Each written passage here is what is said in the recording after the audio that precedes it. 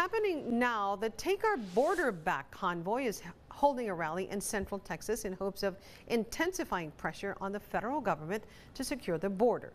The group gathered last night in Dripping Springs outside Austin as a pit stop in their journey to the border. Our crew in Austin has met people who have traveled from Rhode Island, Virginia, and Florida.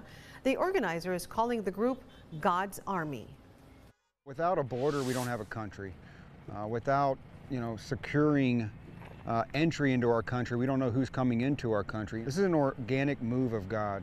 You know, the Spirit moved on a whole group of people who said, you know what, um, I, I believe the Lord is wanting us to go down to the border and pray. And parts of the group will head to Maverick County, Texas, near Eagle Pass, and others are headed to the Arizona border. As you heard, some are saying they are going to pray at the border, while others just want to see what it's really like, to see it with their own eyes. The group is headed to El Paso. The caravan is expected to arrive around 6 o'clock in the area tonight. Our KTSM 9 News reporter Skylar Soto was, has been following the story and will bring you the latest coming up on KTSM at 6.